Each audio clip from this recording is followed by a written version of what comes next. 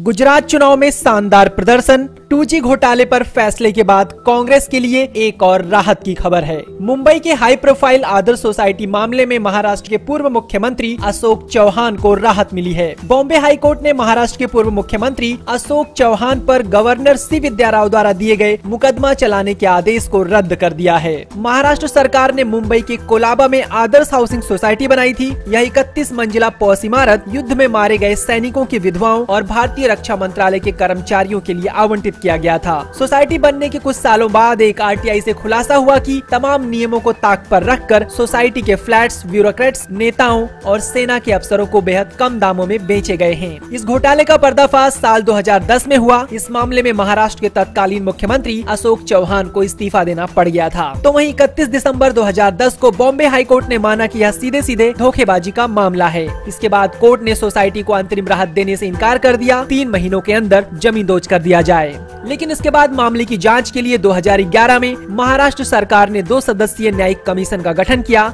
इसकी अध्यक्षता high court के retired justice J A Patil ने की। इस रिपोर्ट में महाराष्ट्र के चार पूर्व मुख्यमंत्रियों के नाम सामने आए।